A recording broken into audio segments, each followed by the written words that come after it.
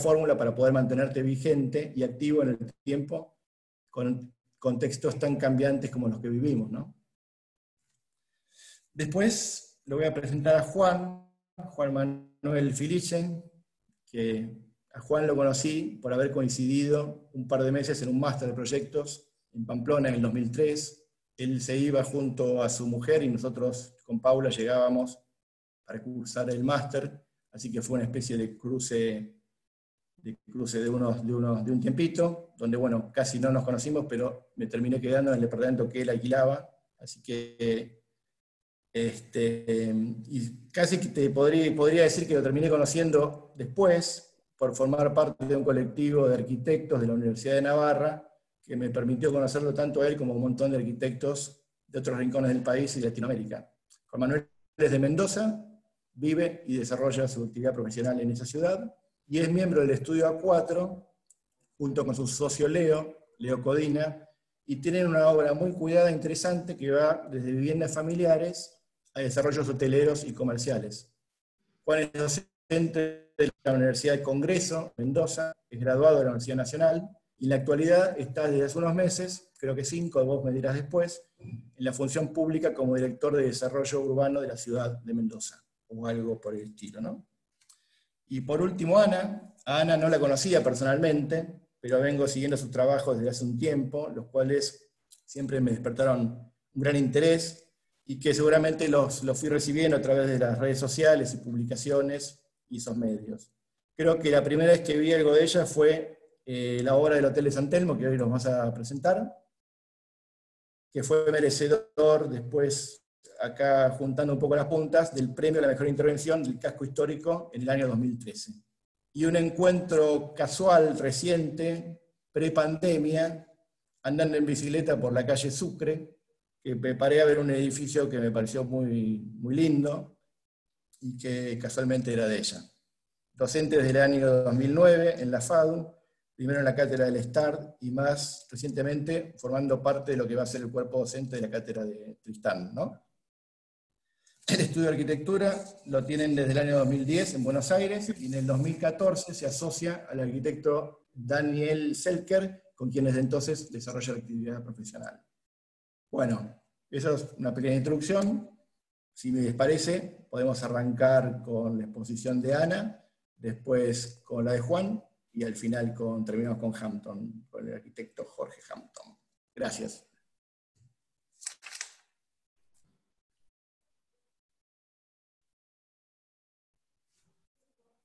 Bueno, me toca, ¿no? Sí. Eh, comparto pantalla. ¿Y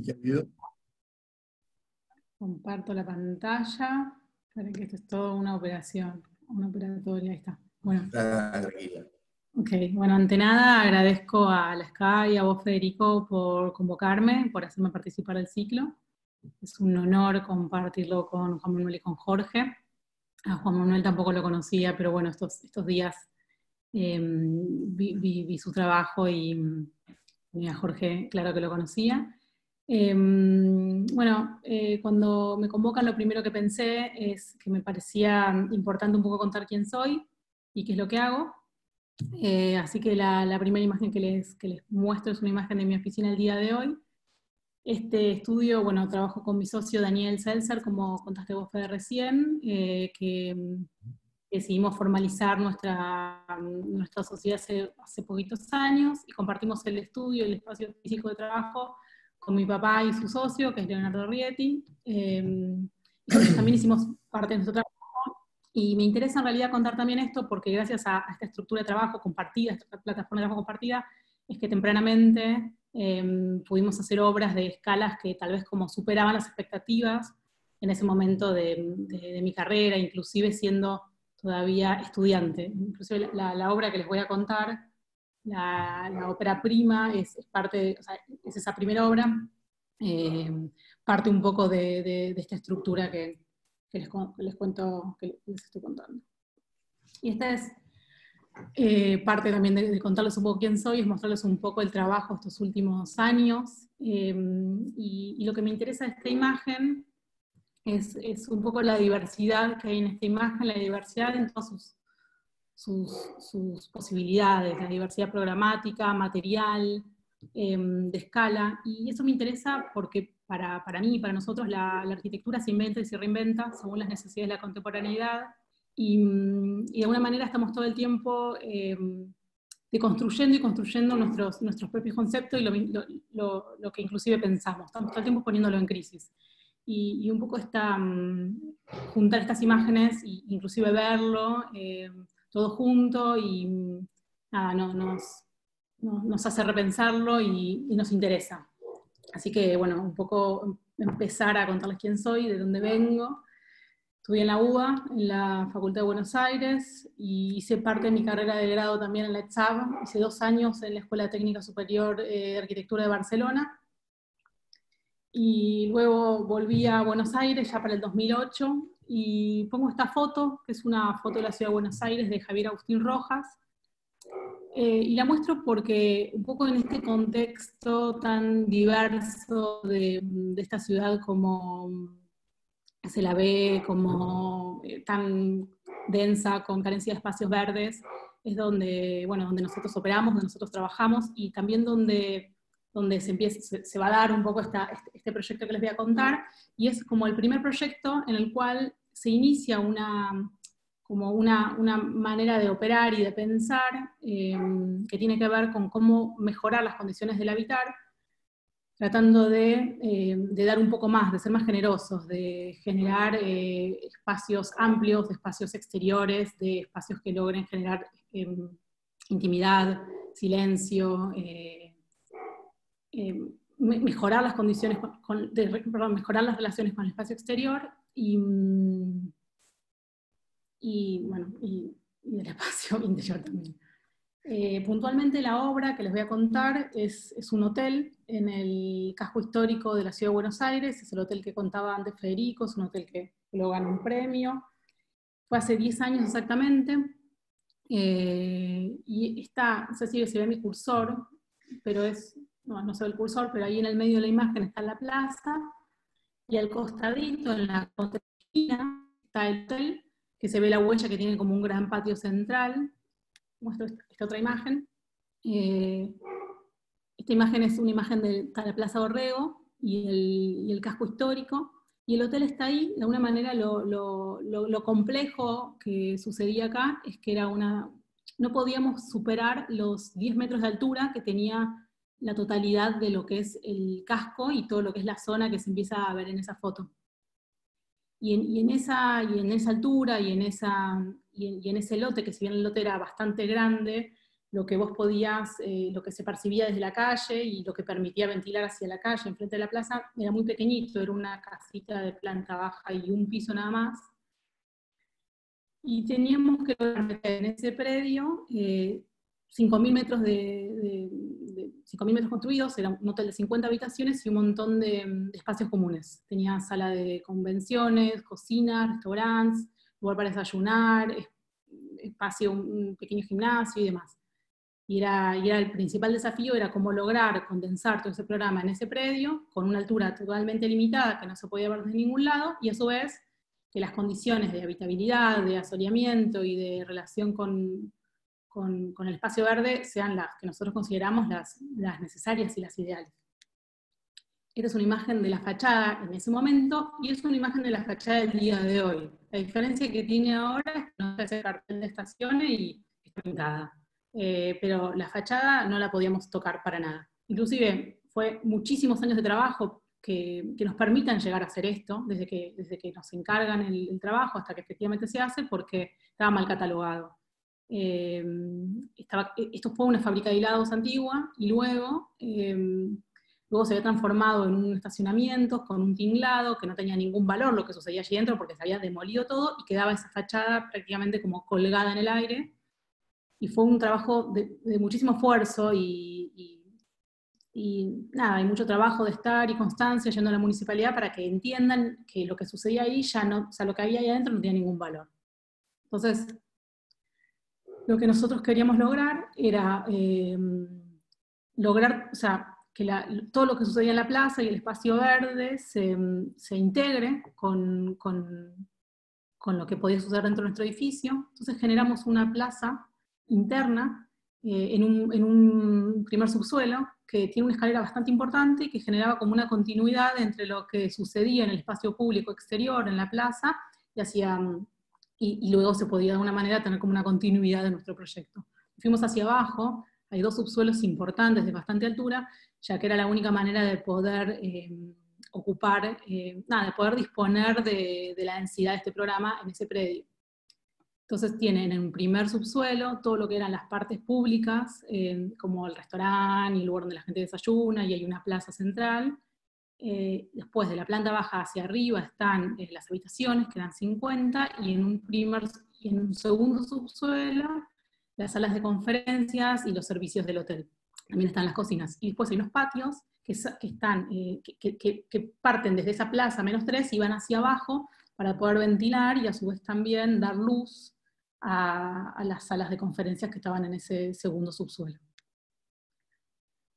La planta es una planta que, coloca, o sea, que, están las habitaciones dando siempre hacia el patio, luego pusimos lo que es el circulatorio en el perímetro, y en una de las caras principales está, bueno, la circulación principal, en una de las caras, de la cara más corta del patio, lo que nos permitía que en cada nivel, mientras uno iba subiendo, eh, cada vez que salías tenías una percepción muy distinta del patio, que tiene esos patios que se ven, esos pequeños patios desde los cuales sale una vegetación que, atraviesa toda la altura del edificio. Entonces, la percepción, mientras va circulando, siempre va cambiando. Eso y, y es súper interesante.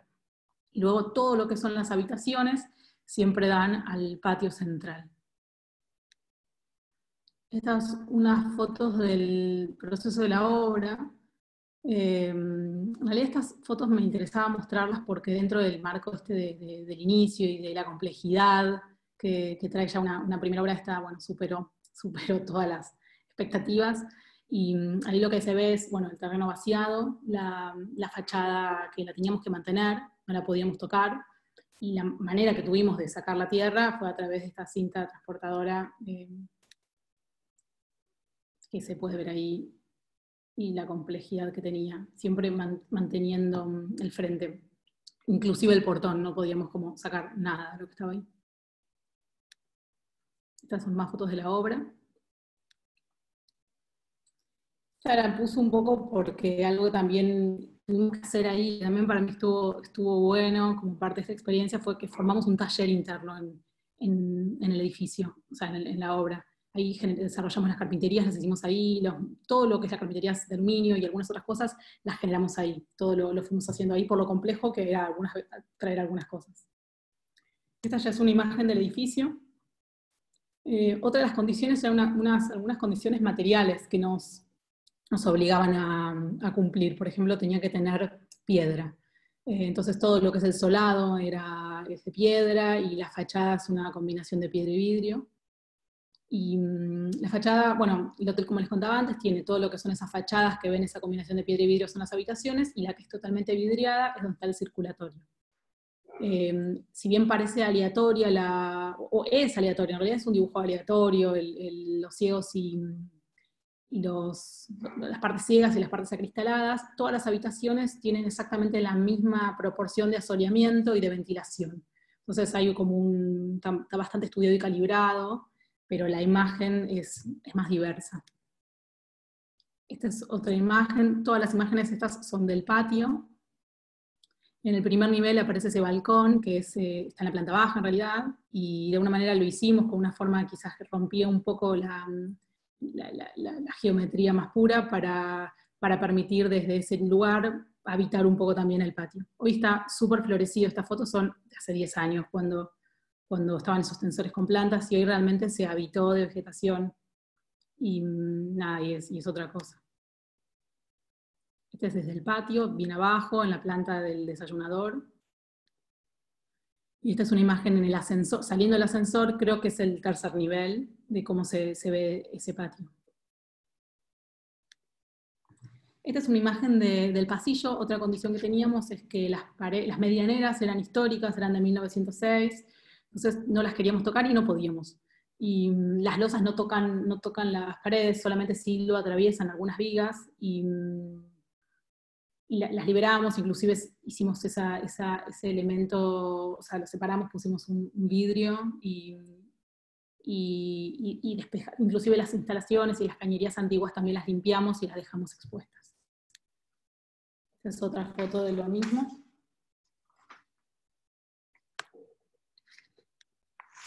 Esta es otra foto también del, del patio. Acá se ve el subsuelo con que donde están las salas de hoy son salas de convenciones y este patio que atraviesa y también les, les, permite mm, tener relación con, con, el espacio verde y, y por ahí también. Y esta es una imagen en realidad que, mm, que puse un poco para cerrar, un poco quizás disruptiva en relación a lo que venía contando, Em, pero la puse porque un poco por quizás mi edad o la experiencia, que no es tanta, yo creo que la ópera prima o lo que puedo contar como ópera prima, un poco son estos, todos estos 10 años de trabajo. Nosotros, yo empecé a trabajar hace como más o menos 10 años y prácticamente con esa obra que les contaba recién. Em, pero para mí mi ópera prima está conformada por, por todos estos años. Y esta imagen es, la, es una foto interna desde adentro de la última obra que, acabo de terminar, que terminé el año pasado. Mm, y, me interesa porque de alguna manera para mí siento que recién ahora puedo empezar a, entender qué es, lo que, es lo que quiero contar, qué es lo que, qué es lo que, es lo que me interesa la arquitectura, hacia dónde quiero ir dirigiendo mi carrera, que tiene que ver con, o sea, si bien eh, sin olvidar que, como arquitectos tenemos el deber y la responsabilidad de mejorar las condiciones del habitar eh, y trabajar desde, desde, lo, desde lo pequeño eh, para, para desde, ese, lugar como más primario por construir ciudad. Creo que, mm, nada, que el trabajo, repito, el trabajo desde lo pequeño y desde cómo, cómo estimular las condiciones sensoriales y emocionales de quien lo habita o lo transita, eh, me interesa mucho, desde la belleza, lo efímero, lo sutil y lo que se descubre. Entonces, desde este lugar em, es donde quizás estamos trabajando más ahora. Eh, esta foto lo que es es una fachada, que es una fachada compuesta por, por una serie de, astillas que son de espejo, eh, van de piso a techo, desde, desde, el cero hasta la totalidad donde cierra el edificio, que son unos tres niveles. Eh, desde un lugar es totalmente, o sea, son, son astillas de espejo y del otro lado son ciegas, son negras. Entonces cuando vos venís caminando, y por detrás hay un patio, cuando vos venís caminando, el lugar donde se ve el, se ve el reflejo, de alguna manera se, se, multiplica la vegetación y el edificio desaparece. Cuando te pones totalmente enfrente, son muy finitas y, y se, se, hace totalmente eh, transparente lo que sucede dentro del edificio. Cuando venís del otro lado, como del escorzo opuesto, el edificio se opaca porque, porque se pone totalmente negro. Eh, desaparece el espejo, desaparece la vegetación y aparece un plano ciego. Y, esa, y, realmente sucede que, vas y venís y, y, no terminas de entender muy bien lo que pasa. Y, todo, ese, es, todo eso que va pasando, esa, esa, esa, alteración quizás más emocional o más sensorial, eh, nos parece muy interesante y, es algo sobre lo que estamos trabajando hoy. Y en línea con esto, y para cerrar, eh, ahí puse una partecita del libro El elogio de la sombra de Tanizaki, y lo puse primero porque fue el primer libro que leí cuando empecé a estudiar arquitectura. Eh, no recuerdo qué docente me lo, me, lo, recomendó y hace poquito lo volví a leer. Y, creo que sin duda tiene que ver con lo que a mí más me interesa eh, contar o, hoy elegir de arquitectura y hacia dónde a veces me gusta, mirarla y, lo leo y cierro acá, dice, en Occidente el más poderoso aliado de la belleza fue siempre la luz. En la estética tradicional japonesa lo esencial está en captar el enigma de la sombra. Lo bello no es una sustancia en sí, sino un juego de claros oscuros producido por la justaposición de las diferentes sustancias que va formando el juego sutil de las modulaciones de la sombra. Lo mismo que una piedra fosforescente en la oscuridad pierde toda su fascinante sensación de joya preciosa, si fuera expuesta a plena luz, la belleza pierde toda su existencia, si se suprimen los efectos de la sombra. Así que bueno, esto es todo lo que tenía para contar y nada, de nuevo muchísimas gracias por, por la invitación. Gracias, Ana, muy bueno, muy bueno todo tu trabajo, la verdad que te felicito. Muy bueno. Eh, bueno, si quieren, bueno, siguiendo el orden de rigor, vamos a seguir ahora con, Juan. Juanma. Cuando quieras, te escuchamos. Ahí voy. Ahí va.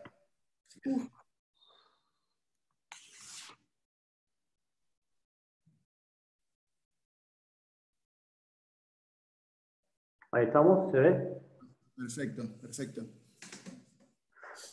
Bueno, eh, primero que nada, buenas tardes, buenas noches a todos.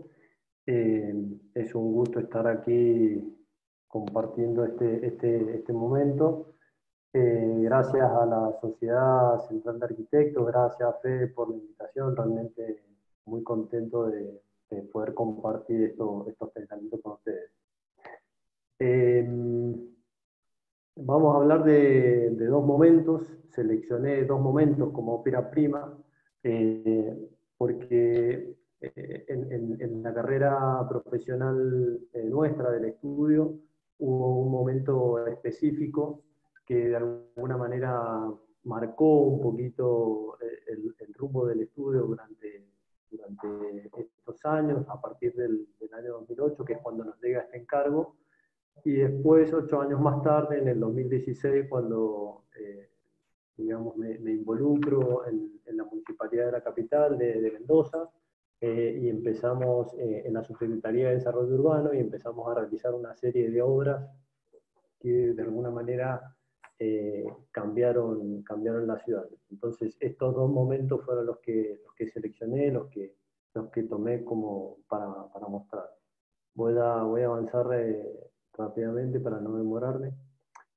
Eh, pongo esta, esta, esta, portada del libro de Chilida porque en ese momento hacía, hacía poco que, hacía cuatro años que teníamos el estudio y estábamos en plena, en plena búsqueda de oportunidades de trabajo, eh, eh, en esos momentos álgidos de, la construcción de un pensamiento arquitectónico, de esa reflexión a partir de los proyectos. Eh, y mucho tenía que ver eh, eh, Chilida y las lecturas que teníamos de Chilida sobre el espacio, sobre la luz, sobre el límite, sobre la densidad espacial, y estábamos enroscados en ese momento con, en el estudio con Leo en eso, y también hubo a partir de este proyecto, digamos, esa, esa, esa reflexión y y nos parecía interesante también aportar una, una búsqueda que tuviera que ver con el material, eh, como también como, como las investigaciones de Chile. Entonces nos llega este, este encargo en un momento en que estábamos haciendo un taller con la Universidad Católica, dejamos el taller, fuimos a la reunión con este cliente que no conocíamos, no sabíamos quién era, eh, era una familia suiza que nos ofrecía eh, hacer un complejo turístico en las afueras de Mendoza, en el sur de Mendoza, lo que, están, lo que ustedes ven abajo es la cicatriz que deja el río Mendoza, eh, en, el, en, la parte de arriba la mancha urbana de la ciudad y donde están circulitos son eh, una zona rural hacia el sur de la ciudad de Mendoza. Ellos habían comprado esta finca, era una finca abandonada de viñedos que tenía 100 metros de ancho por 800 metros de largo. Eh, y aquí teníamos que desarrollar ese complejo turístico que constaba de, unos locales comerciales hacia la calle, un, spa, un Haman Spa y un hotel. Este era el, paisaje con el, con el, que nos encontramos, la cordillera ahí parecía que la podíamos tocar, y una viña descuidada, vieja, que eh, teníamos que, levantar en primera instancia. Entonces, este es el terreno con el que nos encontramos, una bodega vieja, totalmente abandonada, que decidimos dejar, levantar todo el viñedo viejo y empezar a disponer una serie de locales comerciales en torno a la, bodega que estaba, que estaba ya existente, eh, un, bloque de, donde iba a estar el, el hotel en la parte de atrás, el spa en el medio y una serie de caminos o un camino que uniera eh, los, tres, eh, los tres puntos de intensidad y una serie de eventos eh, que tuvieran que ver con el paisaje y con el paisajismo, que fueran de alguna manera generando puntos de intensidad en este paseo. Entonces entendíamos el visitante, más allá de llegar al spa de llegar al hotel, el hecho, había un hecho arquitectónico que, tenía que ver con la transición. desde que llegaba al predio hasta que llegara al, desde que llegara al predio hasta que llegara al, hotel. En este caso, eh, entendiendo que eh, esa transición, ese camino iba, iba a generar distintas sensaciones en el visitante.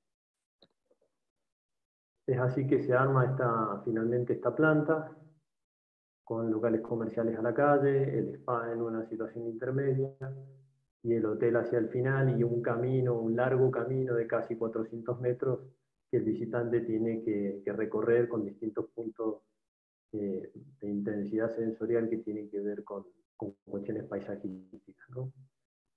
Eh, ahora, cuando el, cliente eh, de alguna manera le gusta la idea y cuando empezamos a pensar cómo resolver el hotel específicamente y cómo resolver el spa, pensamos en esas en esas cajas de, Donald Judd que están dispuestas en el paisaje y cómo estas, estas cajas que podríamos pensar que, serían las habitaciones del hotel eh, tenían programa en sí mismo, pero aparte había un programa asociado que estaba en el espacio intermedio, en, esa, en esa tensión que se producían entre las cajas eh, que se abrían hacia un lado, se abrían hacia otro y que nos permitían llegar hacia estos elementos donde tenía el programa directamente del hotel. Entonces también seguíamos con la idea del recorrido, ese recorrido sensorial que invitaba a tener eh, una sensación entre el interior y exterior, esa investigación entre el exterior y exterior, qué es interior y qué es, eh, qué es interior, nos parecía interesante que pudiéramos reflexionar en, este, en el hotel.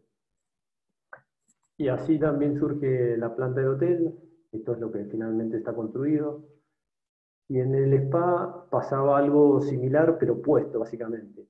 Una serie de cajas programáticas que definían el programa, definían todos los puntos intensos del, circuito del hammam, pero que estas cajas debían, eh, por obligación, eh, encerrarse y, de alguna manera limitar un espacio interior, eh, pero que a su vez era exterior porque el visitante entraba al hammam recorría estas cajas por un espacio interior, pero a su vez después entraba a cada una de estas cajas donde tenía un programa específico interior.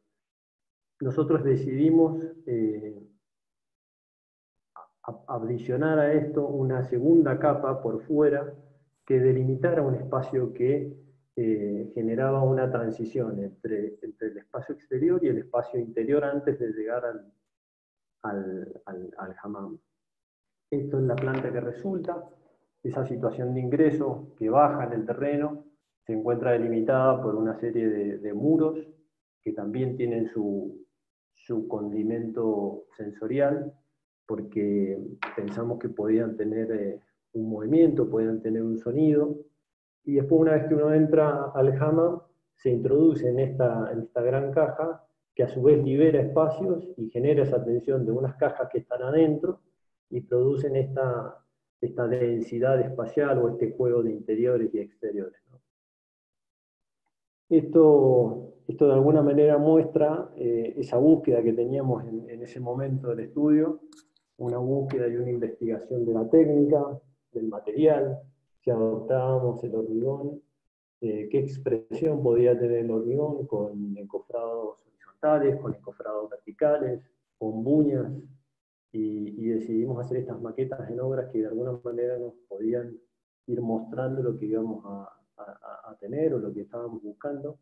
Y después esta otra búsqueda que tenía que ver con ese muro exterior eh, que delimitaba una gran porción de espacio alrededor del edificio, eh, que son unas cañas como en los secaderos de caña que están pues, dispuestas verticalmente, pero que permiten un movimiento, entonces con alguna brisa eso se mueve y genera un sonido y aparte genera ese juego de luces y sombras. Entonces ya la sensación de aproximación al edificio eh, generaba distintas sensaciones y una vez que uno se introducía eh, tenía otro tipo de sensaciones que tenían que ver con la luz, con el material, con la proximidad, con la tensión entre los espacios.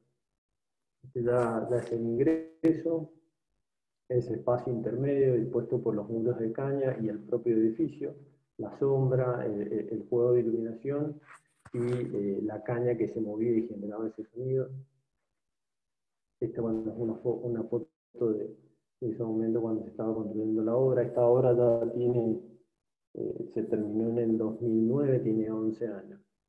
Esos espacios intermedios entre el edificio y el muro, eh, que le dan eh, muchísima privacidad al edificio porque la gente en el interior está prácticamente desnuda. Y esto ya cuando uno entra al edificio encuentra estas, estos espacios intermedios que los que yo le comentaba recién. Estos son los accesos, por aquí la gente circula para llegar al interior de estas cajas, que es donde está, donde está el programa específico del hub.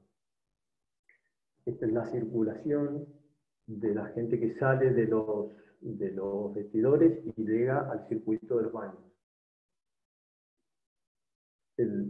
la pileta central con, con, con, las entradas que no se ven, quedan escondidas a los, a, los distintos circuitos, al, al, baño de vapor, a, los masajes.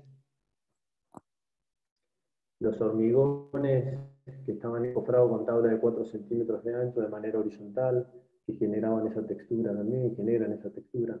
Estos son los baños con luz cenital, al estar el hormigón encofrado de manera horizontal, generan esas sombras eh, verticales en los hormigones. Las, las salas de, masajes. Este es el, vapor de 60 grados. Estos son los interiores ya de esas cajas que veíamos, con una luz cenital totalmente oscura. Esta es la entrada al, spa, este es el día de la inauguración.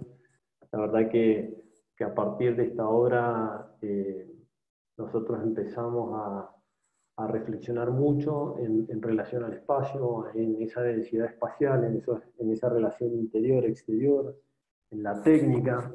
Eh, aprendimos mucho, fueron nueve meses de obra muy intensos que realmente nos marcaron mucho todos estos años de, del estudio.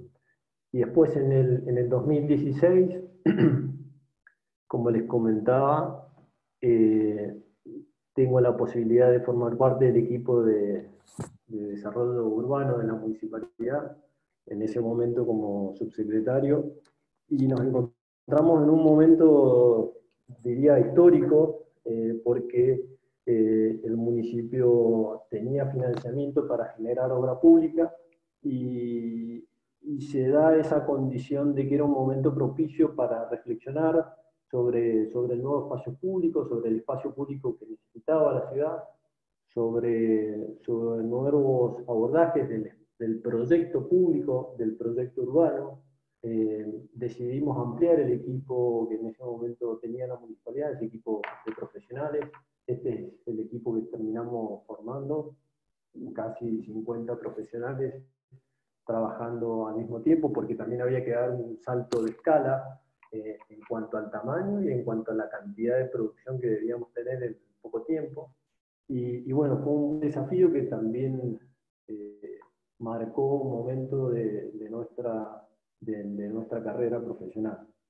Eh, puntualmente de esos trabajos que desarrolló el municipio en, eso, en esos años, eh, les voy a comentar, les voy a mostrar un proyecto urbano que, tiene, que se llama Paseo Aristide Villanueva, que era una calle que va desde el límite donde está el microcentro hasta donde comienza el Parque General San Martín. Son ocho cuadras que había sufrido una, en los últimos años, había sufrido una transformación de una zona netamente habitacional a ser una zona de, de restaurante, de, de, boliches, y había generado mucha interferencia con la vida que se estaba desarrollando en las cuadras laterales. Entonces decidimos hacer una intervención de estas ocho cuadras para que de alguna manera pudiera eh, soportar, albergar de la mejor manera a todo este movimiento que se estaba generando en la ciudad, esta reconfiguración urbana que necesitaba. Pero también no se hizo solamente desde el punto de vista del espacio público, sino se hizo desde, el punto de vista de la planificación. Eh, se generó un nuevo código de convivencia que venía a regular las actividades y los comportamientos de, la ciudad en estas cuadras, entonces, el abordaje del municipio fue, fue integral. Nosotros desde, desde el proyecto urbano y las otras áreas desde este código de convivencia. Eh, lo primero que entendíamos que teníamos que hacer era una, muy buena documentación, porque eh, la obra pública hay veces que eh, el problema de ejecución de la obra pública es por falta de buena documentación, entonces eh, esto es la documentación, es parte de la documentación de una de las cuadras, de las ocho cuadras, donde está perfectamente indicados los canteros, los árboles, los árboles están georreferenciados también, los niveles de cada cuadra, donde iba a tener eh, eh, la sequía, ustedes lo van a ver, entonces hay acequias que, que, canalizan el agua de río que, baja, que va bajando desde el oeste. Entonces, bueno, empezamos a generar una muy buena documentación en leyes que nos permitía tener un entendimiento, un entendimiento y un abordaje muy concreto, muy complejo de, de toda la situación. Porque aparte la obra se tenía que hacer en solamente ocho meses. Eh, bueno, más detalles de las esquinas, los encuentros. Hablamos con, con, la empresa, ellos nos consiguieron que Blandino nos hiciera una, un baldosón especial que lo fuimos entrelazando, entonces eso generaba un degradé desde la fachada de las casas hasta el centro de la calle y de alguna manera eh, generaba esta zona donde las mesas podían disponerse y donde generaban las zonas para que el transeúnte circulara. Esto es un poco el juego que se ve abajo de grises. Este ya es un detalle más específico de la adoquinado de la calle, la sequía, los árboles y cómo se daba el, el juego, digamos, el dibujo de, estos, estas, de estas baldosas en la, en la vereda. Eh, detallamos todos los detalles que tienen que ver con la sequía, los árboles, tuvimos muchas inspecciones en relación a cómo cuidábamos el árbol, eh, cómo, cómo, cuidábamos la sequía, porque eh, en Mendoza hay una gran cultura en relación a esto.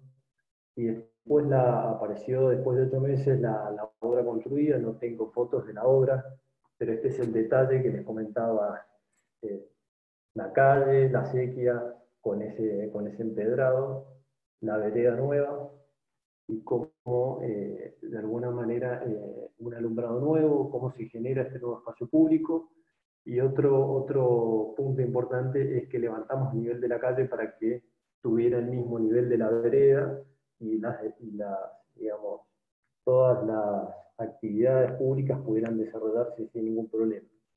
De esta manera también la calle puede, puede pasar a ser un paseo, como, como finalmente quedó su nombre, y poder soportar distintas actividades que hoy se desarrollan. En la foto de la, de la derecha, si bien eh, no, es buena calidad la foto, está pixelada, pero se muestra lo que estábamos buscando, el brillo y esa opacidad que tiene el granadado, que tiene la, la baldosa. Cuando uno camina se nota, genera esos brillos que, que, son bien interesantes, digamos. El cuidado de ese detalle para un espacio público nos parecía importante que, estuviera.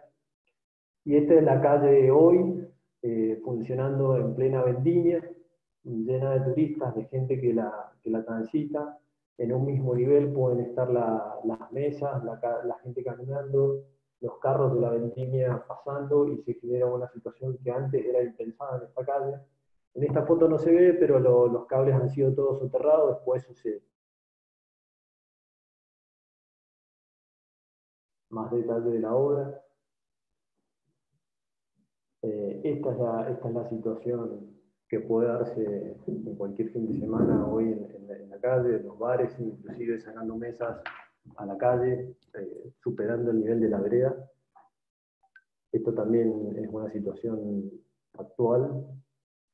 Bueno, y eso, eso resume un poquito estos dos momentos que les quería mencionar. Hoy también estoy trabajando de vuelta en la municipalidad como secretario de Desarrollo Urbano, con todos los desafíos que, que hoy genera eso eh, en, esta, en esta crisis, eh, en esta emergencia sanitaria y esta emergencia ambiental. Así que, bueno, muchas gracias. Eh, eso ha sido todo. Bueno, muchas gracias, Juan. Gracias por tu exposición. Habrá que ver qué pasa, ¿no? Y cuáles son los nuevos protocolos para, para estas cosas, ¿no? Vos hablabas del espacio público, y bueno, veremos cómo, ya seguramente ustedes tendrán alguna, alguna idea de cómo se va a ir habilitando todo eso ¿no? en el municipio. Pero bueno. Mira, em, ahora pasamos a, a, Jorge Hampton, que es el último, el último de la noche. Así que, bueno, lo escuchamos. ¿Ya puedo hablar? ¿Se me escucha? Sí, perfecto. Bien, eh, bueno, Flor va a pasar las eh, imágenes, porque yo no con esto, me daba un poco de vergüenza, pero como igual el proyecto que voy a contar es del siglo pasado, de hace exactamente 50 años, aunque no lo puedan creer, y yo no lo puedo creer desde ya, porque 50 años, esto es los años 60. Eh, y básicamente la génesis de la cosa es que eh, nos habían yo trabajaba en el estudio de Jauró y Urgel, que después se separaron. Em, en un momento apareció un tema de un concurso de un hospital, era, era entusiasta, pero exageradamente entusiasta, como Federico Kelly ahora, que está haciendo como tres concursos simultáneos. Este,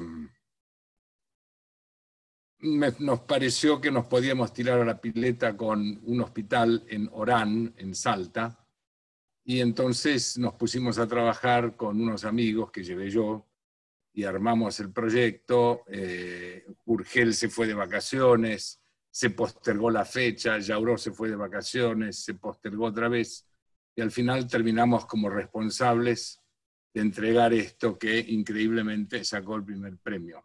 Bien. ¿Puedes pasar, Flor, una imagen? Bien. Eh, mis socios eran Jorge Laplaza, que falleció, y Alfonso Ramírez, que lo perdí de vista. Y Urgel, eh, Urgel falleció el año pasado, o el anteaño, y Ayauró hace tiempo que no lo veo, pero fue en su momento eh, un referente muy importante para mí, diría que mi maestro. Este, bueno, armamos ese concurso, lo entregamos, una cosa y otra, sacamos el primer premio y vamos ahora a ver exactamente la localización. Flor, pasa otra imagen. Otra. Porque la localización, este, se imaginan, es lo más importante en la arquitectura. O sea, eso no me lo saca nadie. Cuando digo lo más importante, acá está en juego dos cosas, el tiempo y el espacio. Cuando hablamos de localización, hablamos de espacio. El tiempo, bueno, el tiempo fue el siglo pasado, fueron los años 60. Fueron años heroicos de la arquitectura, diría, porque en la posguerra estaba muy orientado todo el tema, especialmente eh, a la reconstrucción europea, vivienda, etc. Pero ya en los años 60 aparecían, eh, aparecían eh, estudios y este, investigaciones. Estoy hablando de la época de, Paul Rudolph, de Kikutake en Japón, de Claudio Soleri en, Estados Unidos, los Archigram, todos estudios, todas operaciones eh, arquitectónicas, investigaciones que a nosotros nos interesaba sobremanera. O sea que de pronto estar tirados en Orán, es un sitio muy particular, muy particular. De hecho, no sé si se ve, el cursor mío se ve acá, no. Bueno, en esta línea vertical, del lado, eh, acá está el cursor, perfecto. Ahí está la ciudad de Orán, y acá al ladito hay una línea vertical de sombreado, que es toda la, no, del otro lado, esta línea vertical sombreada, más a la izquierda, ahí todo eso, lo sombreado, es eh, las yungas, los faldones de los Andes. O sea que acá estamos, eh, Orán está sentado, digamos, debajo de los Andes, pegado a la frontera con Bolivia eh, y en parte de la, en el, borde, digamos, de la selva chaco chaqueña, aunque estamos en Salta, ¿no? Es una zona de producción de frutas principalmente, eh, producción tropical, caña de azúcar, ahora soja. Eh, es un lugar de, mm, trabajadores transhumantes, peregrinos, este, mm, ¿cómo se llaman? Em, bueno, hay, hay, una población rural muy importante, eh, entonces acá la necesidad de un hospital, Orán es la segunda ciudad de Salta, Salta primero y después Orán. No, bueno, está bien. Y acá eh, lo más era, resultaba muy importante, era la época de Onganía, por otro lado, este, y el general que estaba a cargo de Salta, un general, no me acuerdo el nombre, pero que tenía vocación, digamos, de hacer este hospital regional en la ciudad de Orán. Había una población itinerante muy importante que atender. A ver, otra. Digo esto, pasa Flor, digo esto eh, porque mm, nosotros eh, eh, implementamos, digamos, un sistema desde la ignorancia total, porque yo estaba en tercer año en la facultad, y mis dos amigos también, implementamos desde la ignorancia total, o estamos seducidos, digamos, por la teoría de la arquitectura de sistemas. Suponíamos que el mundo era más, eh, digamos, dúctil, que tenía que adaptarse, que la flexibilidad y el crecimiento eran la clave del éxito de la arquitectura. Eh, era la época heroica de los años 60. Eh, se estaba entrando en un momento particular de la arquitectura pre-digital para los jóvenes, olvídate, no existía nada digital, absolutamente nada. Eh, esto era todo manual. Entonces desarrollamos un esquema, un sistema de arquitectura. ¿Puedes pasar otra, Flor? Flor. Un sistema de arquitectura cuya maqueta de tanta ingenuidad era que la maqueta era un juego para niños que se llamaba Rusty, que los mayores colegas mayores lo van a, se van a acordar inmediatamente del tema, y fuimos superponiendo estos cubitos para que fueran armando el proyecto. Como ven, es una cosa mm, sistematizada desde ya, porque cuando uno habla de adaptabilidad, de crecimiento, cuando uno habla de crecimiento y flexibilidad, también está hablando de eh, repetición de las componentes constructivas y adaptabilidad, ¿no? Eh, repetición tipológica y adaptabilidad de las componentes para que sirvan para todo. Pocas componentes sirven para todo. En la repetición está la virtud, la virtud de tener un costo menor, ¿no? Bueno, aún así, como anécdota ya, eh, pero lo digo ahora porque es visualizable acá, esto se componía de un sistema de módulos, el módulo funcional de 1,20, metro 20 en los dos sentidos, el módulo estructural 720.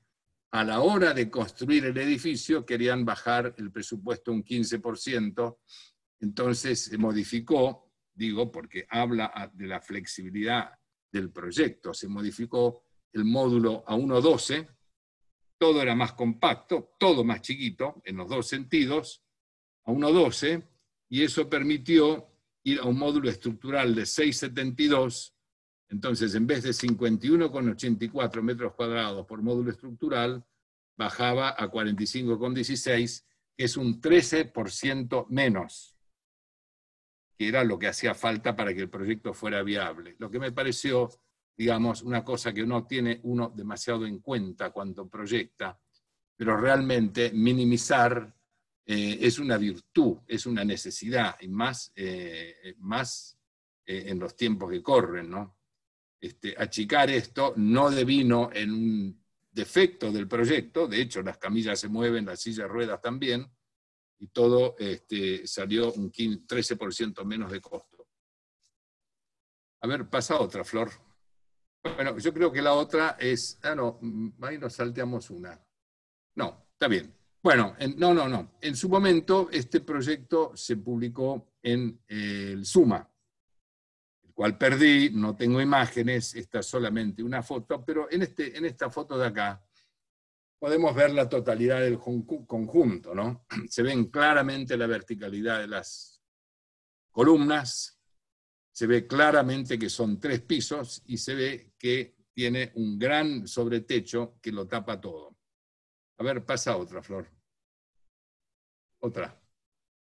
Y acá, en esta, sí, no, no, atrás. Esta. Eh, y acá se ve claramente cómo es este orden, este orden, digamos, constructivo.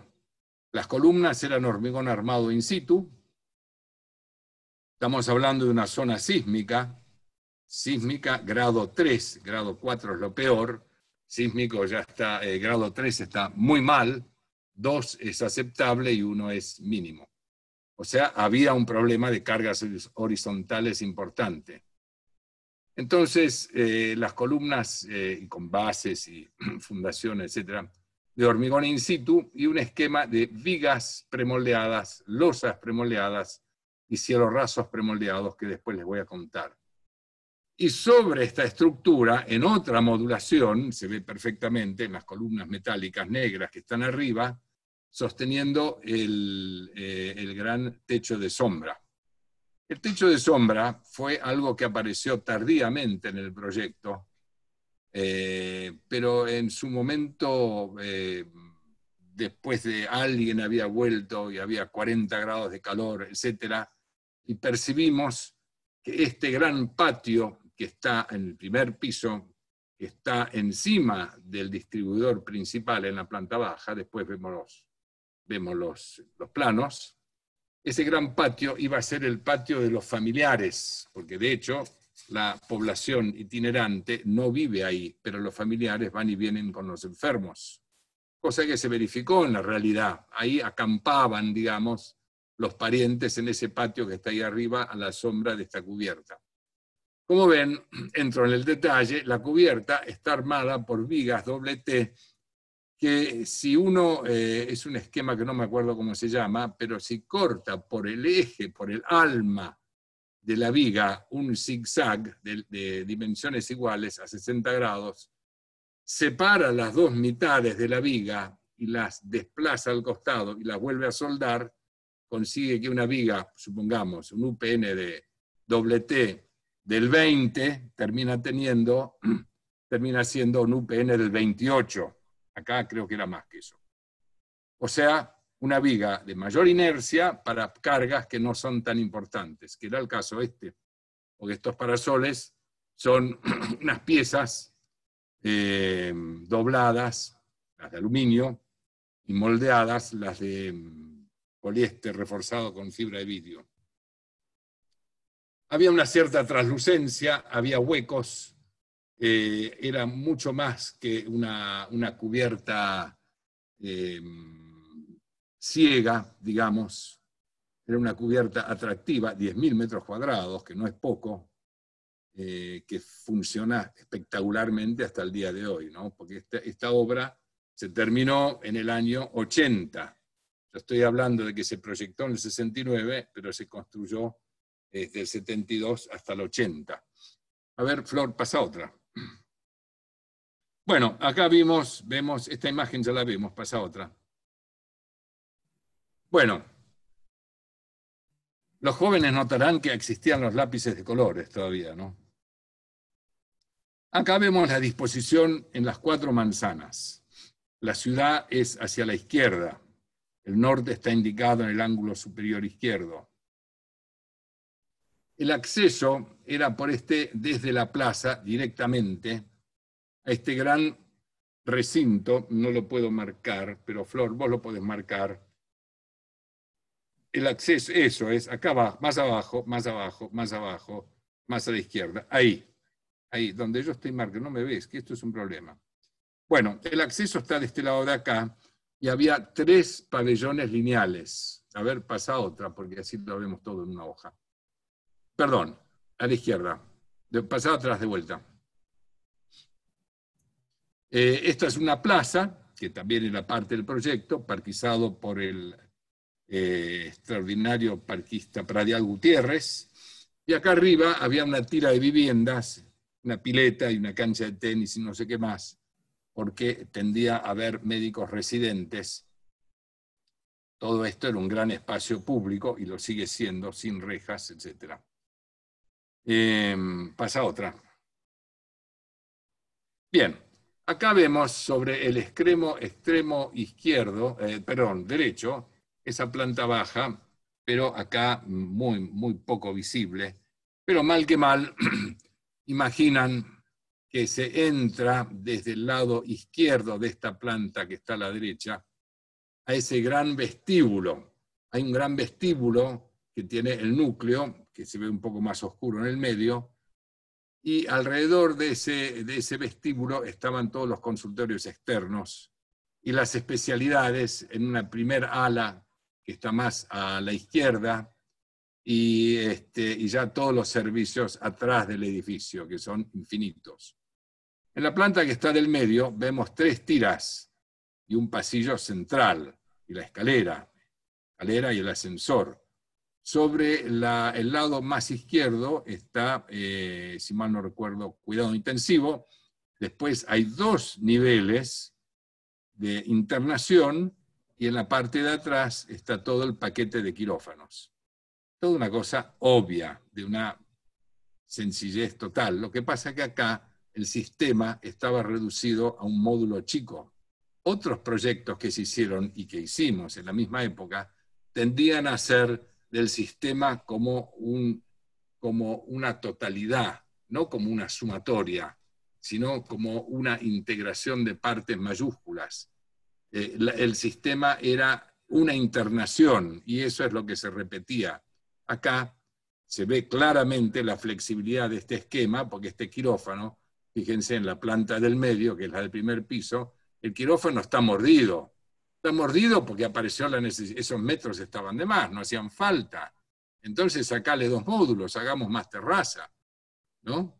Y acá adelante, en el esquema eh, de la izquierda absoluta, este primer pabellón, el que está sobre la izquierda, también está semi-utilizado. Había un esquema de que podría crecer en los extremos y para arriba, cosa que nunca sucedió, jamás. Cuando yo fui en el año, eh, fuimos en el año 92, estaba con 92, sí, fuimos a, a los valles, a los valles calchaquíes, a Quebrado Humahuac, etcétera, y nos pegamos una vuelta para venir a ver Orán. Y estaba todo igual que cuando se hizo, e inclusive las tapas provisorias de las puntas de, los, eh, de las tiras de internación eran las mismas que hacía 10 años. No había visto necesidad de cambiarlas, ni tampoco había posibilidad de que creciera el hospital. Y probablemente tampoco necesidad, ¿no? A ver, eh, pasa otra, Flor. Bueno, acá vemos con más detalle la planta alta, no, perdón, la planta eh, intermedia, y la pongo porque un poco se clarifica mejor el tema del, módulo estructural, ¿no? O sea, acá claramente, supongamos, si vemos, eh, esto está puesto al revés, lamentablemente, respecto a lo que estaba la otra planta. Pero las internaciones entonces tienen esos originalmente 7,20 por ancho, de ancho, unos 15 metros, y por 60, y eh, están en un esquema clásico de eh, habitaciones de un lado y de los servicios del lado de enfrente, los quirófanos en el paquete de este extremo, y todo lo que está ilustrado con esta cruz de 360 por 360, las cubiertas de la planta baja, son todos patios accesibles, con esos maceteros, vegetación, etcétera, eh, cosa que está buenísimo hasta el día de hoy. A ver, sigue otra, Flor. Bueno, acá vemos el corte. Acá se ve claramente, corro esto, se ve claramente em, la planta baja, primer piso y segundo.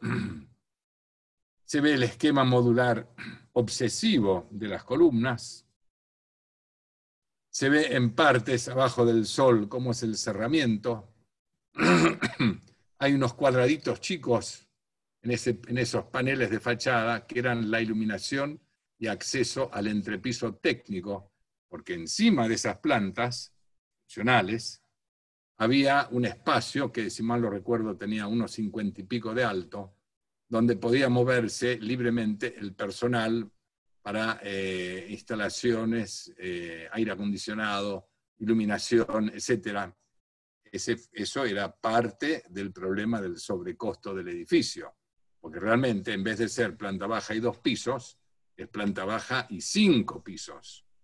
Porque imagínense, no estamos hablando acá, estamos hablando de una planta baja que tiene tres metros de alto, los otros pisos 2,60, pero esos entrepisos estaban más bien en los 1,80.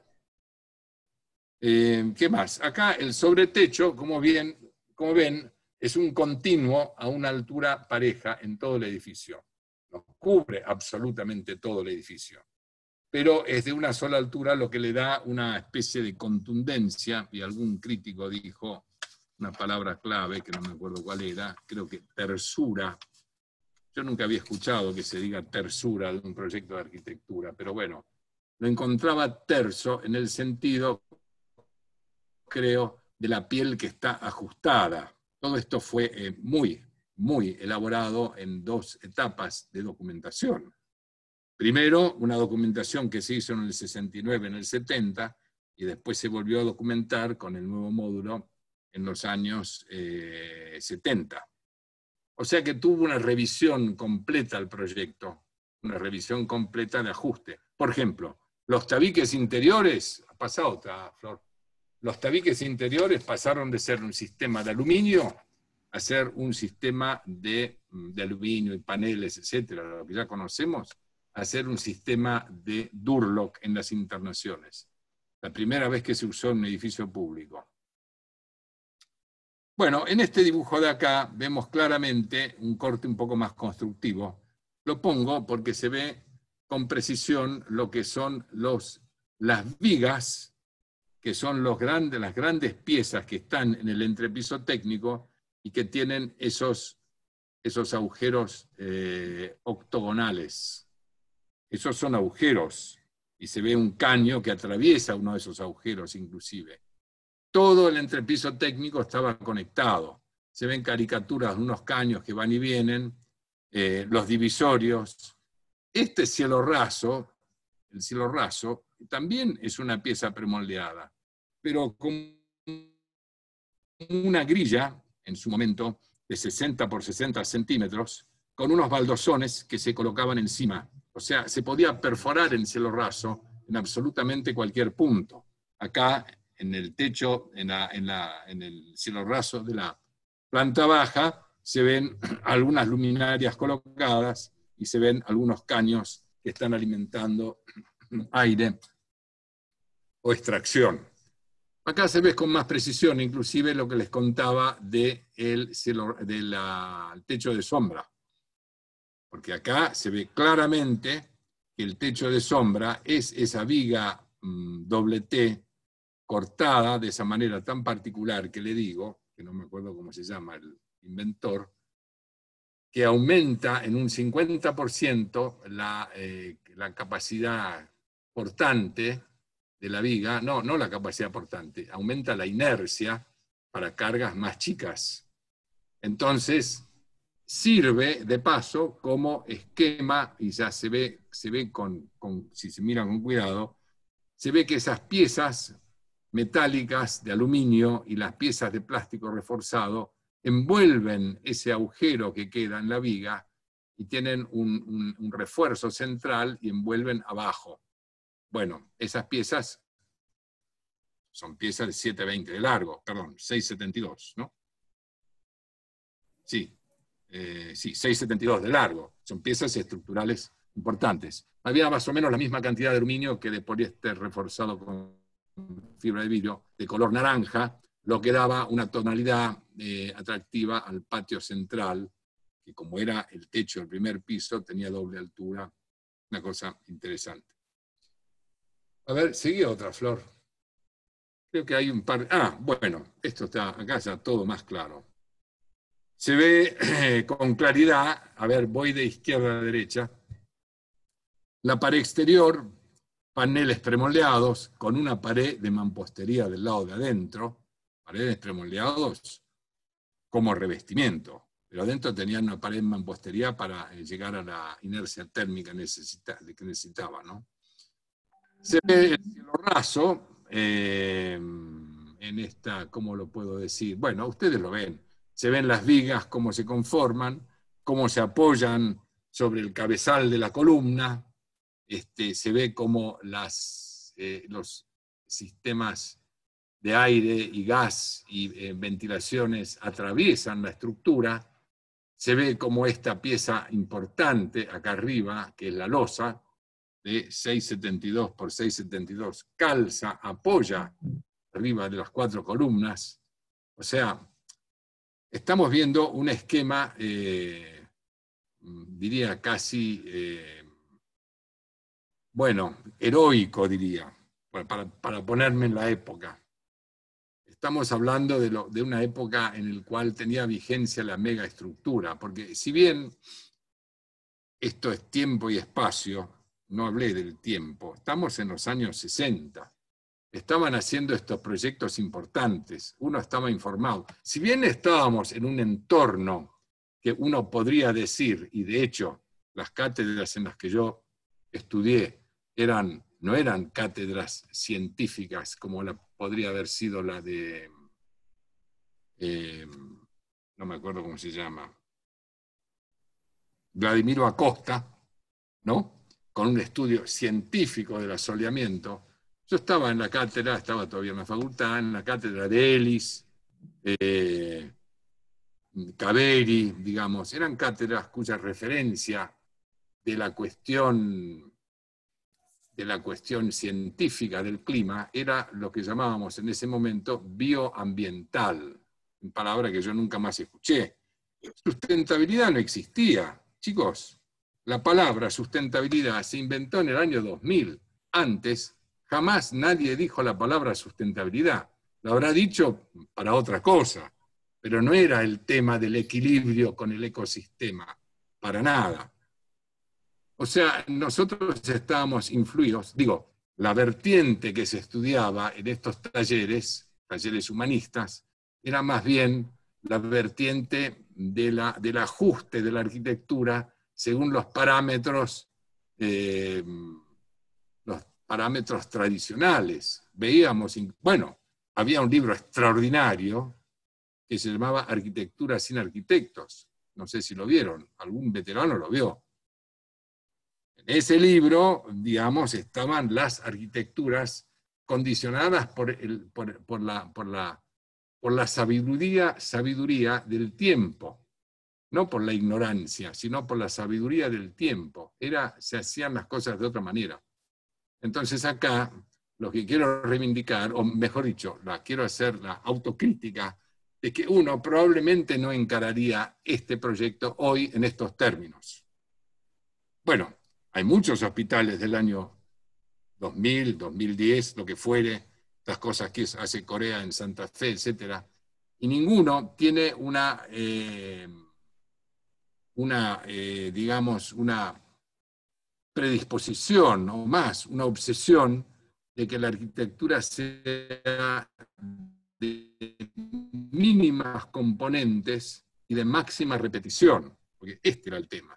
De hecho, esa tira de viviendas que les mostré al principio, en la parte de arriba del proyecto, tuvo algo como dos, si mal no recuerdo, tres veces más módulos distintos de revestimiento, esas viviendas que eran, no tendrán mil metros cuadrados el edificio ese, de dos plantas, tenía tres veces más módulos distintos de premoleado que todo este edificio de 13.500. ¿Me explico? O sea, el sentido de la repetición hacía a la flexibilidad y al crecimiento. Bien, acá ya vimos todo. Ok, a ver, veamos otra flor. Bueno, acá estamos viendo cuatro situaciones, lamento la calidad de la foto. En la foto de la izquierda estamos en la calle viendo eh, cómo, es el tratamiento del sobretecho. Ya, bien, ya ven que en solamente esta foto hay tres condiciones distintas. Hay una parte que es opaca, una parte que es translúcida A y otra que es translúcida B. En esta otra foto, a la derecha arriba, también vemos el, techo de sombra. Estamos acá sobre, no me acuerdo bien, creo que esto debe ser sobre, no me acuerdo en esta foto, pero me da la impresión que es el ala que da hacia las viviendas que están al fondo. Eh, y acá vemos todo opaco, vemos todo opaco porque está sobre eh, edificio, acá está sobre el patio central. Acá abajo también la presencia de estos techos y la presencia de estos techos. La foto de abajo a la derecha es, si mal lo recuerdo, la foto del ingreso al edificio, pero esta foto está muy mal. Hay que mejorarlo. Tenía fotos cuando fui, pero no las encontré, así que estas son fotos sacadas del de, eh, libro de, de Urgel. A ver otra. Bien, acá estamos viendo todas las componentes del esquema. Este es el patio central en la planta alta. Hay un sistema de ventanas, ven cómo tiene una, rigurosa modulación de medio módulo de panel, el panel era 1.20, después 1.12, las ventanas se abren, estos cuadrados naranjas son de poliéster reforzado y eran los accesos con escaleras y ventilaciones barra iluminaciones de los entrepisos técnicos, muy importante. Había, esto es, acá estamos, en el, estamos parados sobre, la plan, sobre el primer piso, segundo piso, primer piso y segundo piso. Vemos con más precisión el esquema de las vigas, vemos los distintos tipos de parasoles que están en las vigas. Las columnas eran lo más esbeltas posibles, pero esto ya es una cosa importante, porque la columna acá ya daba para los 10 metros de alto. 9. 10, 9. Digo, estamos en una zona sísmica todavía. Todo esto, por eso también corren vigas en el otro sentido. Yo creo que ahora el, el CIRSOC no te permite hacer esto con los nuevos reglamentos este, de hormigón y, y estructuras. Lo veo muy esbelto. Bueno, Estuvimos haciendo hace poco en el estudio con Emilio un proyecto en Mendoza, vivienda, procrear. Las dimensiones que tomaban las partes de hormigón y más las separaciones que había que dejar entre las piezas, entre las partes de los edificios para que pudieran vibrar independientemente eran abismales. Eran grietas de 30 centímetros de ancho. Y acá es un edificio que se extiende en tendrá 100 metros por 80, este, nada de eso pasaba, no hay una junta de dilatación. Es otra época. A ver, fíjate otra flor. Ya termino. ¿eh? Por ahí me excedí un poco. Bueno, esta es una mala foto, pero es interesante verlo porque debajo de esta cubierta de la cubierta de mm, sombra también estaba la gran sala de máquinas en el medio.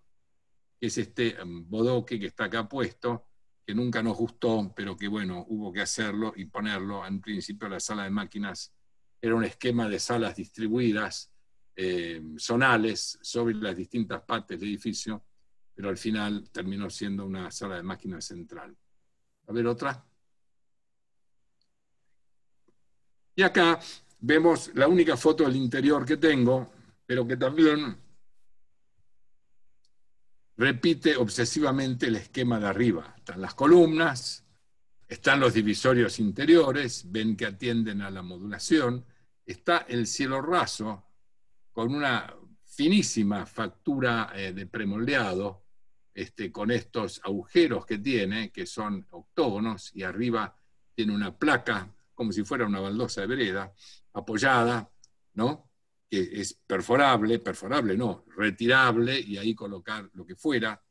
Este, se ven acá, los, en el fondo del pasillo se ven ya un par de puertas, este, un poco lo que es el ambiente de esta situación acá adentro.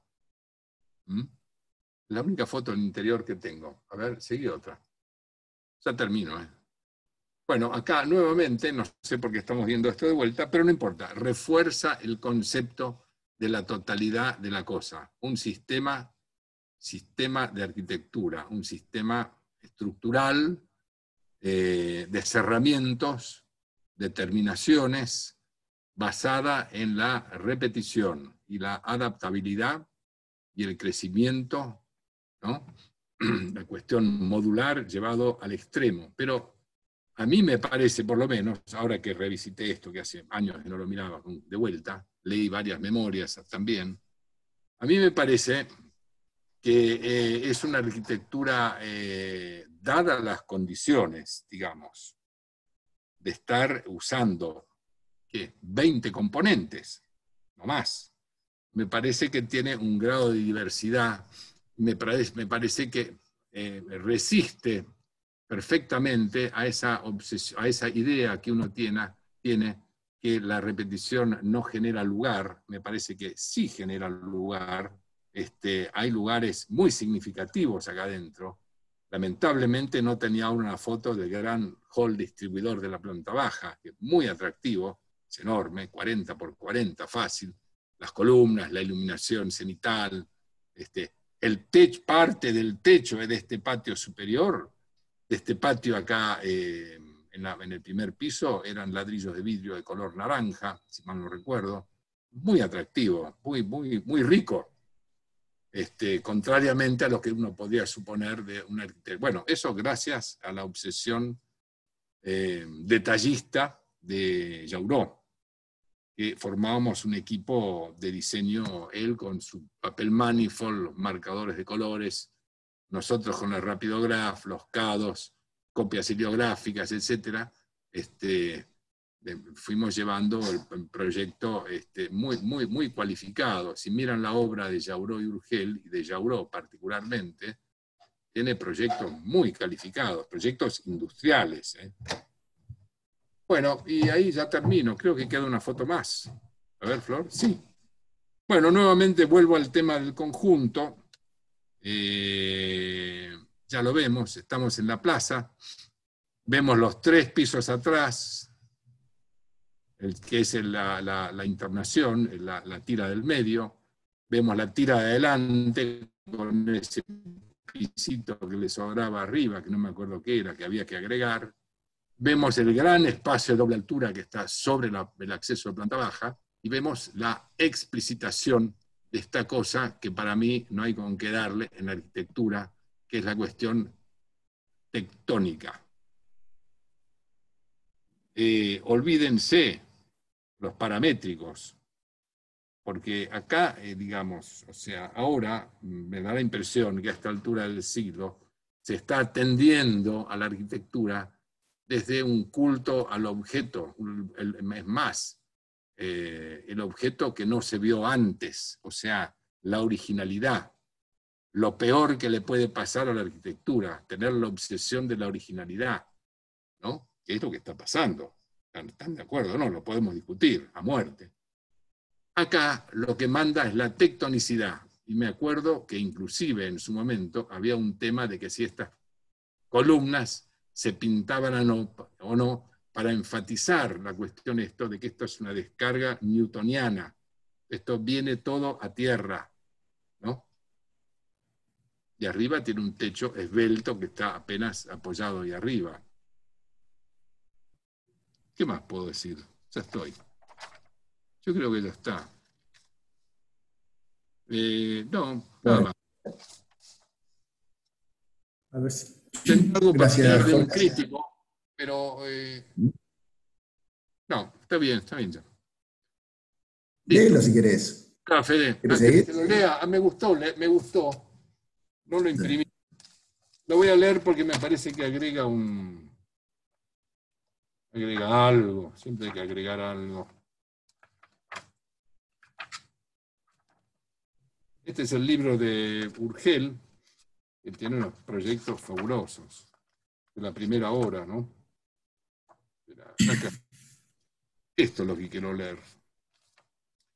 Dice, un ejemplo exitoso de aplicación de la arquitectura de sistemas en su búsqueda de flexibilidad, crecimiento serialidad técnica y productiva es el hospital que el estudio realizó en Orán, Salta.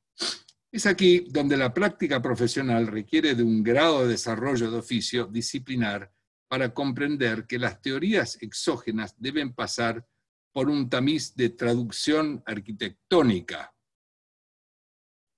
Está inserto en lo que pasaba en los años 60 en el mundo, pero no es un producto de la globalización, ¿no?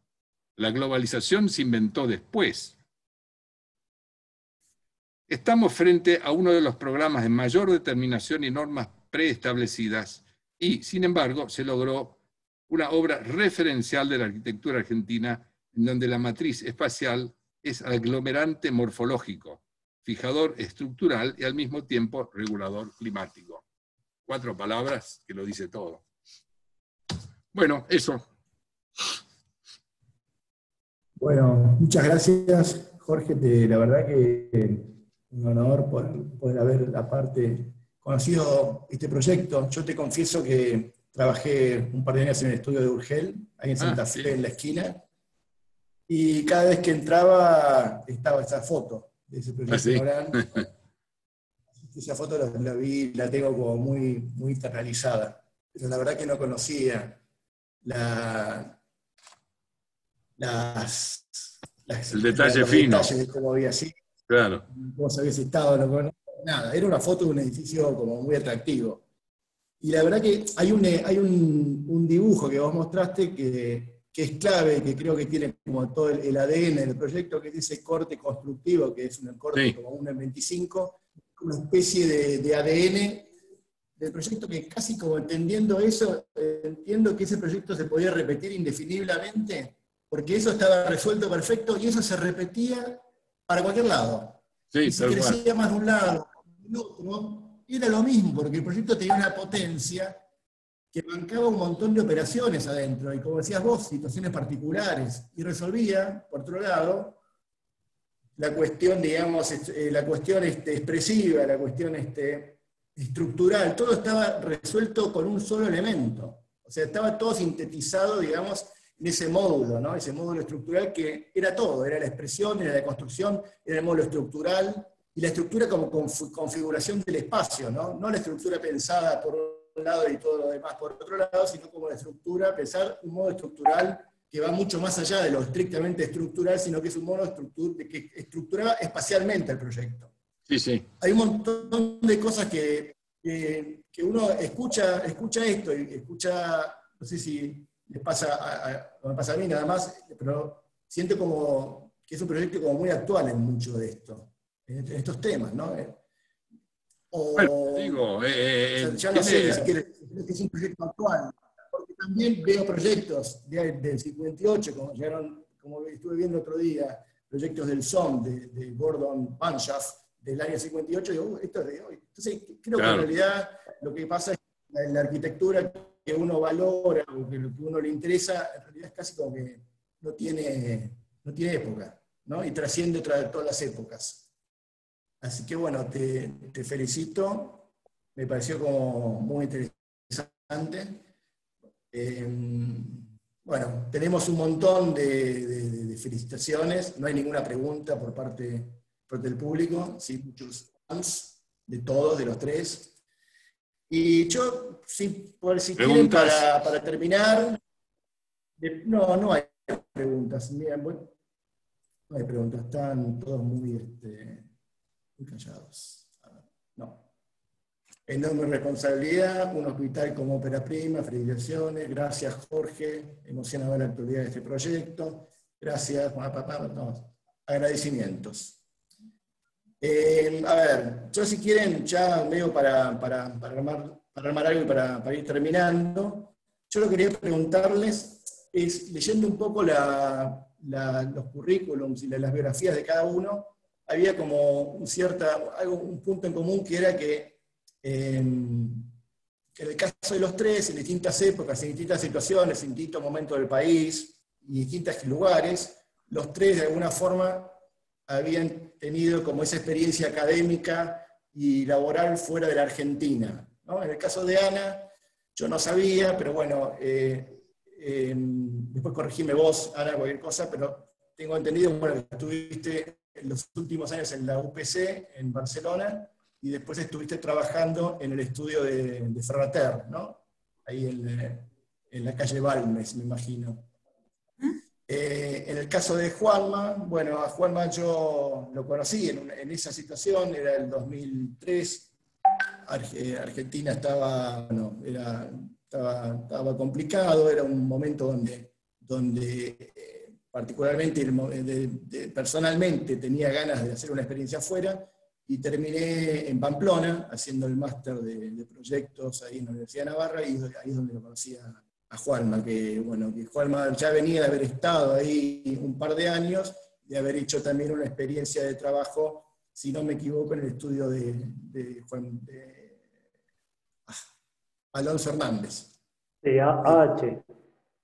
H, exacto, que, eran como unos eh, grandes arquitectos de Pamplona. Pamplona es una ciudad de 175.000 habitantes, una ciudad chica que, era como llegabas y por lo menos a mí eh, era un poco opresiva. Pero después con el tiempo uno se iba de alguna manera como aclimatando y buscándole como las, las virtudes de esa escala.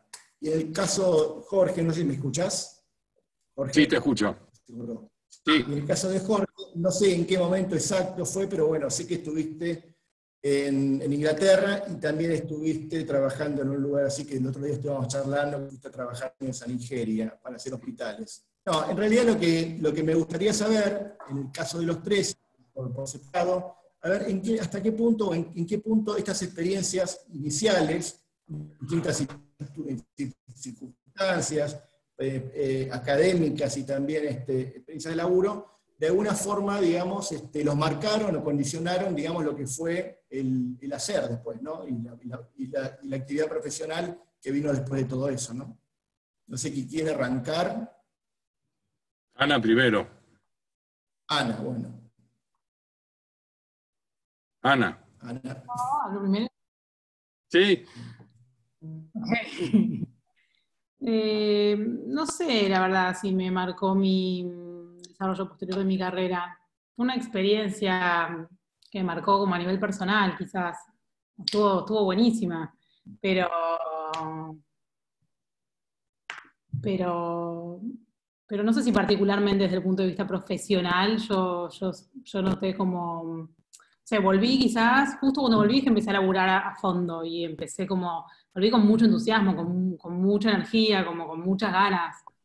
Eh, la experiencia fue genial. Eh, también me hizo valorar mucho algo que teníamos acá. Yo llegué allá y, me acuerdo que, yo venía con una polenta de la uva, que allá, que, la sentí, sentí como todo lo que me daba la uva, ¿viste? Como que esa cosa de hacer con lo que tenés y con lo que podés, mm, eh, esas láminas gigantes que hacemos en la uva, me acuerdo que allá llegué y todos señalaban como unas láminas chiquititas y yo iba como con, mucha polenta y me llamó mucho la atención eso, siempre lo recuerdo.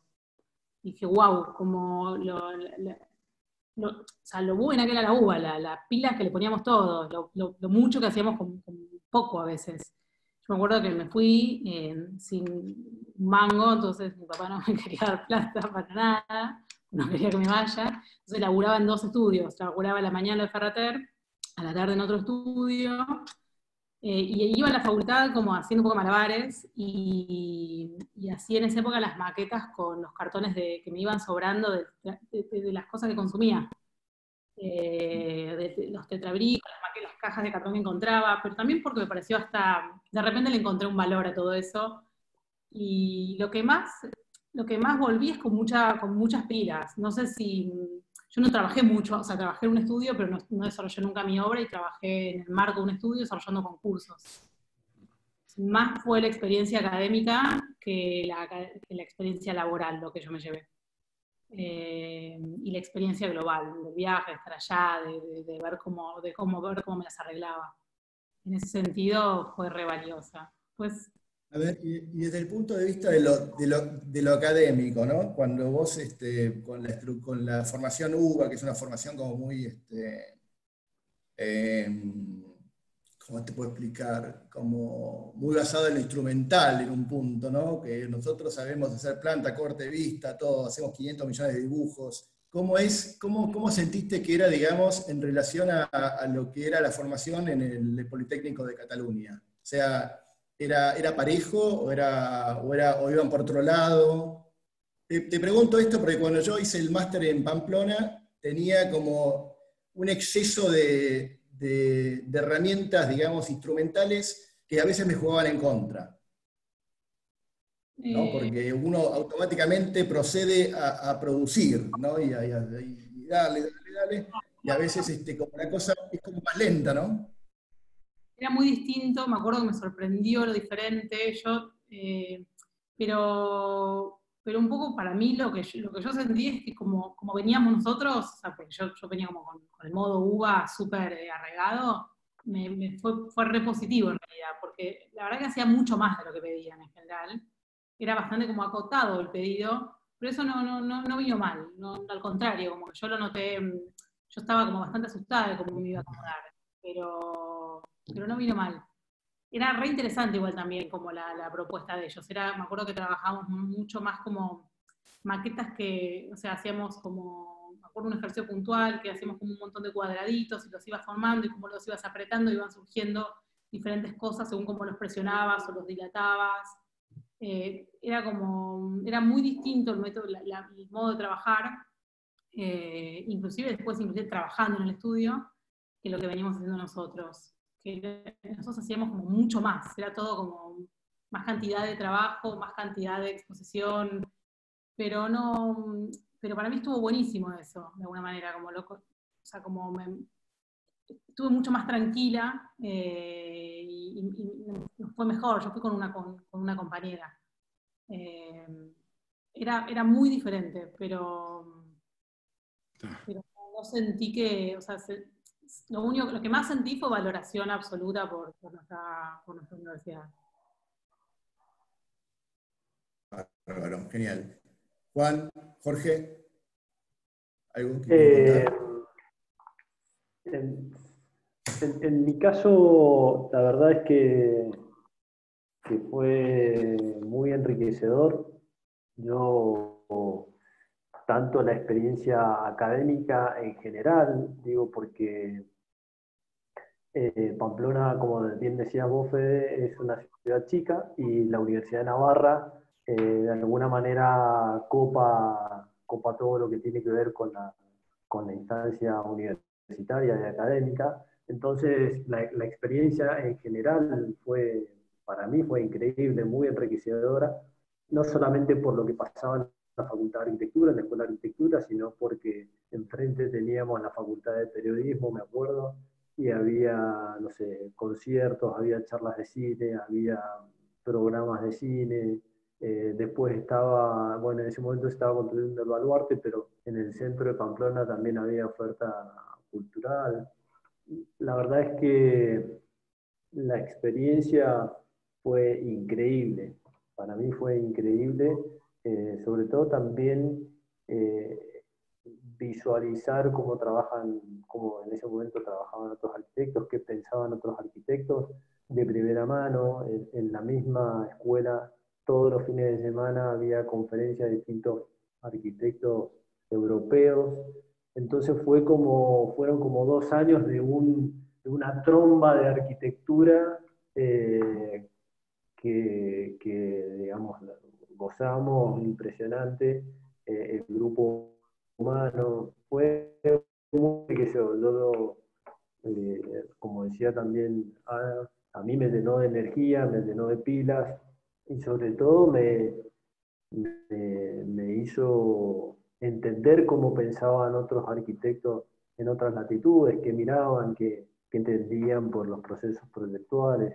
Realmente fue, fue increíble y sí creo que eso definitivamente a mí me marcó eh, y bueno, y parte de eso fue lo que, lo que pude trasladar o, llevar a la oficina, porque Leo en su momento cuando yo estaba en España eh, él estaba en Chile haciendo un posgrado en la Universidad Católica de Chile, también increíble, increíble escuela. Eh, y bueno, y cuando volvimos en el, en el 2003, 2004, empezamos a trabajar juntos y funcionamos eh, lo que él traía de Chile, ese, ese bagaje también que, generaba la, escuela de la católica y, lo, de, lo de España. Eh, y lo que sigue generando todavía, porque eh, nos seguimos juntando, cada dos años hacemos este encuentro de exalumnos del máster y de, los profesionales que pasaron por la Bienal, eh, que también es muy enriquecedor. Así que en ese sentido fue una experiencia increíble que todavía sigue enriqueciéndonos. No, yo no puedo decir lo mismo, ni lo, ni lo de Ana ni lo de Juan. Porque, mm, porque, mm, digamos, porque ustedes fueron a una cosa específica que era a interactuar con la profesión, con una cosa que uno tiene con Europa, digamos, como nuestra madre profesional y existencial y, también biológica. Y yo ya hace rato ese, eso no me, no, me, no me sedujo más. Es cierto, fui a Inglaterra, pero fui a estudiar en la University College eh, Planificación para el Desarrollo. Era un curso de planificación, 60 alumnos de todos los países del mundo, y lo que se veían eran técnicas, técnicas y procedimientos para encarar principalmente las cuestiones de la urbanización, urbanización desaforada. O sea que sí, me pasé un par de años, un año. Después fui a vivir a Nigeria a, a trabajar, pero no daba para, daba para resolver, no para pensar, que son dos cosas distintas. Y antes de llegar, eh, antes de ir a Inglaterra, me recorrí de acá hasta Vancouver por tierra. Y eso sí para mí fue la gran lección, la gran el gran aprendizaje, porque no había arquitectura.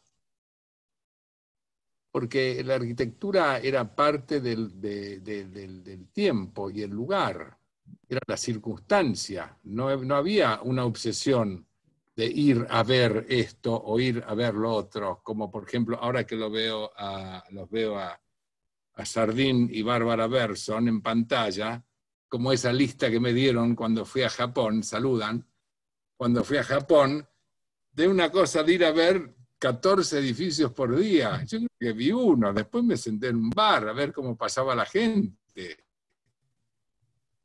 O sea, no, no, no, no comparto la idea de la, de la educación, de la educación. Me parece que el tema de la educación circunstancial tiene más, a la larga, más peso. La educación informal, el estar donde se está,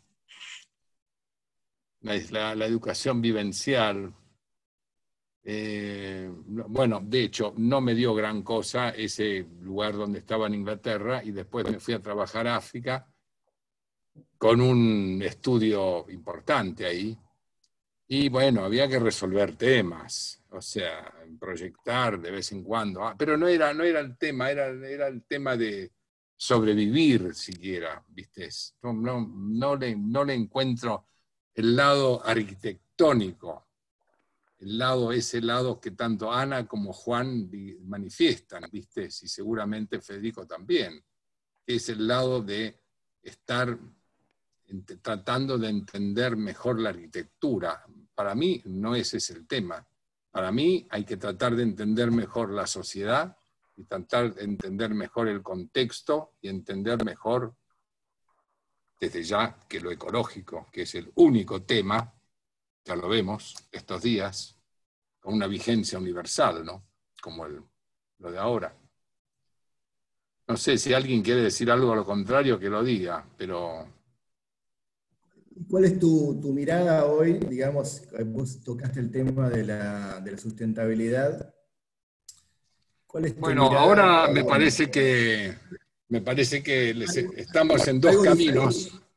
Estamos en dos caminos hay una parte de la profesión que siquiera lo mira al tema y lo mira y, trata de resolver en función de algo que pudiera ser sustentable, pero principalmente la economía de la sustentabilidad, que es la clave, es hacer menos.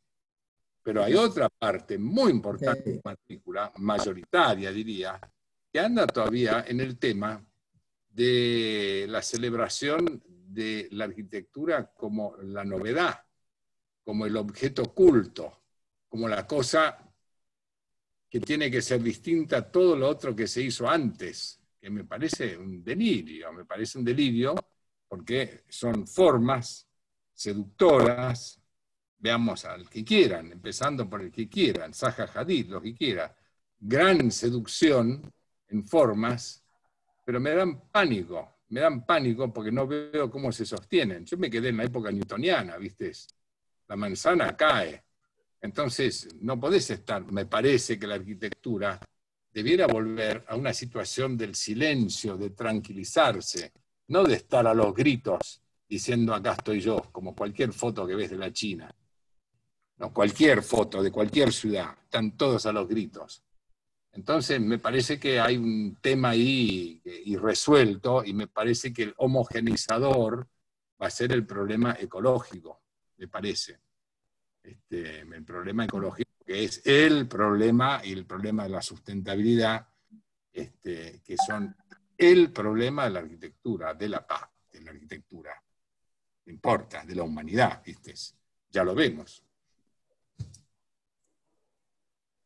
Bueno, dicen que la buena arquitectura en realidad eh, siempre fue sustentable, ¿no? Todo lo demás es... No es arquitectura. ¿no? que la buena arquitectura siempre fue sustentable. La buena es sustentable, de por sí. Bueno, eh, no sé si alguno quiere, digamos, eh, preguntarse algo entre ustedes tres, o si lo damos ya por, por terminado, siendo las Ocho y media. Ocho y media y ya con la población cayendo, digamos, la población de asistentes. Así que yo diría que lo demos por terminado. Y nada, hay que cocinar. A todos. Hay que cocinar, sí, totalmente. Hay que cocinar. y bueno, muchísimas gracias. Bueno, creo que la verdad que salió, salió muy bien. Yo estoy muy contento. Así que bueno, les agradezco a los tres. Bueno, y a los que están atrás, les digo que bueno, que ya dentro de 15 días, este, este, jueves no, el otro jueves, hay un nuevo, digamos, eh, evento de estos de un nuevo episodio de Ópera Prima. Así que bueno, muchas gracias. Y buenas noches. Chao, gracias. Bueno, muchas gracias. Gracias. Eh. Un abrazo para todos. Gracias. Chao, gracias. Gracias, gracias a todos. Chao, chao.